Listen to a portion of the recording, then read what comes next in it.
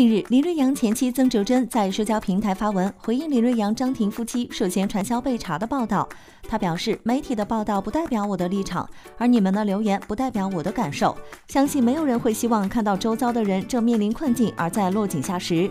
据悉，前不久林瑞阳与现任妻子张庭涉嫌传销被查，引发网友热议。事件发生后，网友纷纷到曾哲珍评论区留言表示“大快人心，大仇得报”等。说起林瑞阳、曾哲珍、张庭三人之间的纠葛，在当年年可是闹得轰轰烈烈。曾哲珍二十岁的时候就和林瑞阳步入了婚姻的殿堂。可是好景不长，林瑞阳随后和张庭合作戏剧，两人被曝光在戏外亲密。隔天，张庭在记者会上否认插足丑闻，哭到当场晕厥。曾哲珍却不这么认为，他直接喊话张庭为第三者，并表示欢迎林瑞阳、张庭来告他。